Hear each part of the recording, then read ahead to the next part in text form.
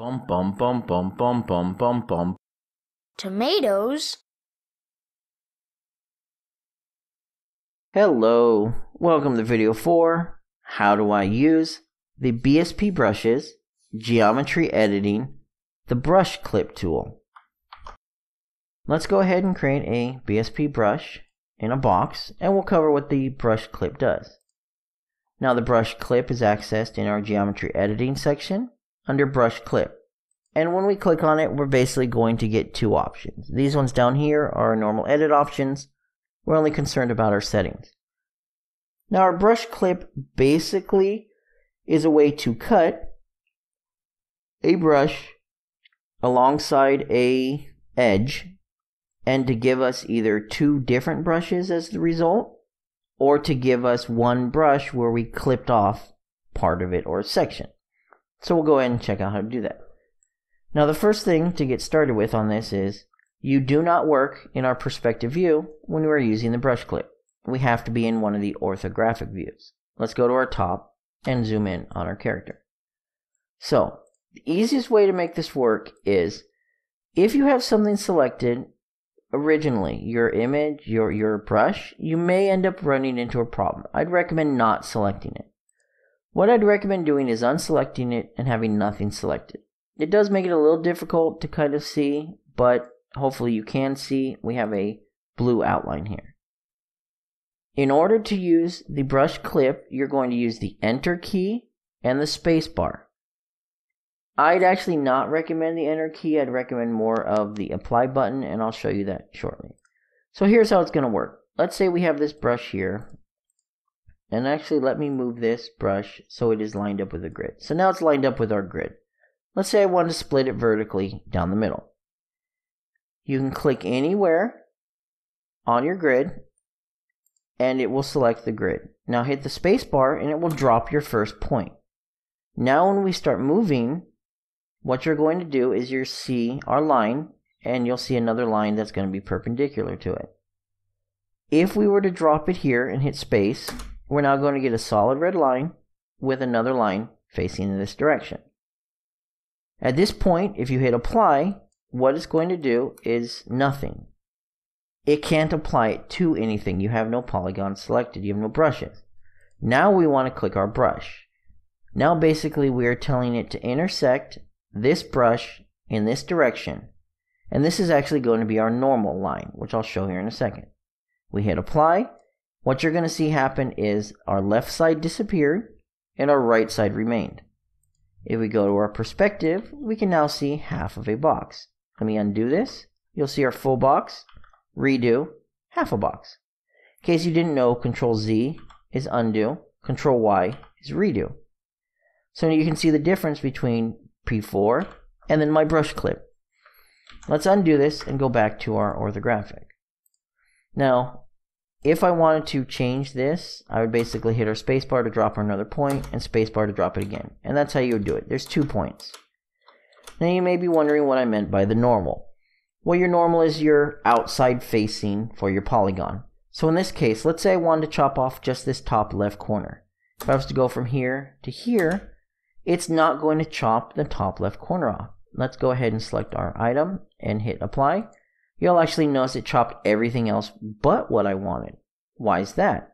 Well, like I said, the normal is going to be our outward facing direction. So wherever this line is facing, it's going to cut off that part because we want this edge here, this new edge, we want that to be our new normal of our polygon, so the outside.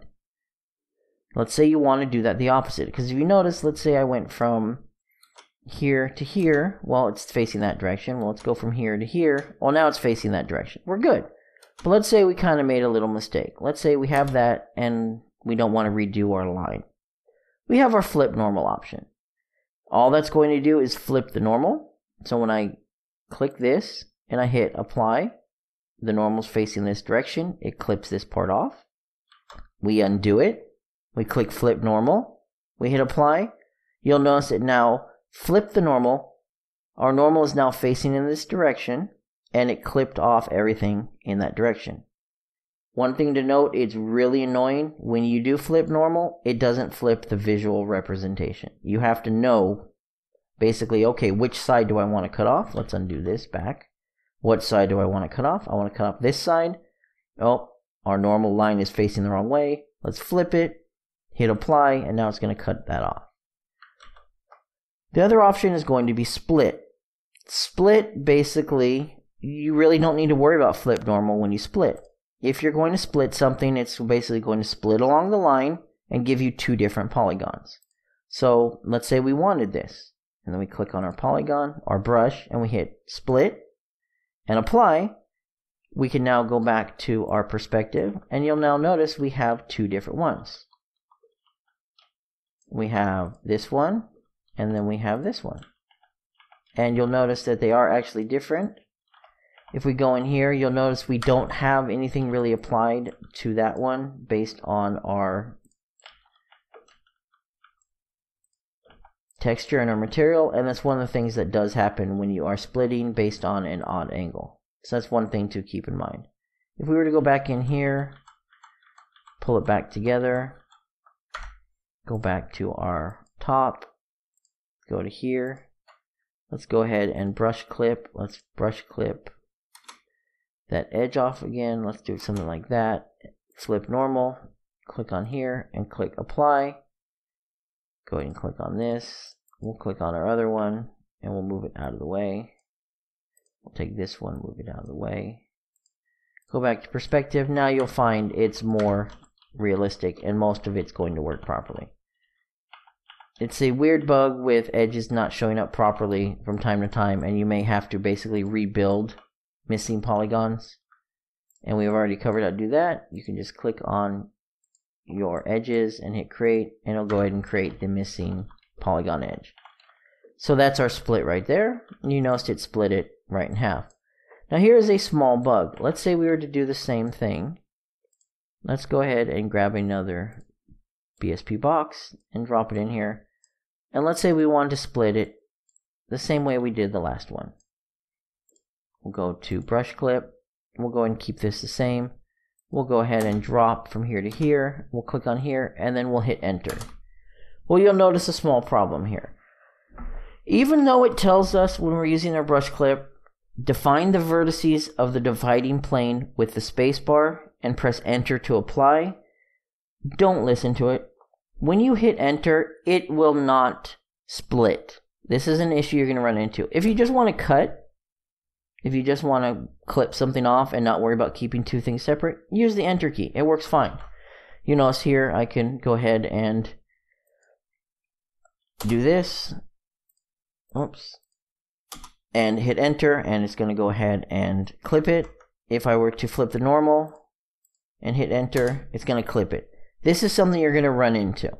If you just hit enter, it's just going to do a quick clip based on the default settings these options do not apply. If you need to flip the normal or you need to split it, you need to make sure you use the apply button. That's very important. Keep in mind, I'm just using this on the top. There's nothing stopping you from going from like the left on this one, for example. And let's say we wanted to cut off the top left like that. And then we clicked on our brush and then we hit split and apply. There's nothing stopping you from doing that. As you notice here, I went ahead and I split out that piece like that. See? And then we went ahead and we split it. And it doesn't necessarily have to be up and down. It's all based on your perspective. And again, it just makes a clean slice right through. It clips off whatever you want. So that's it. That is our brush clip option for geometry editing. If you have any questions or comments, please feel free to leave them below.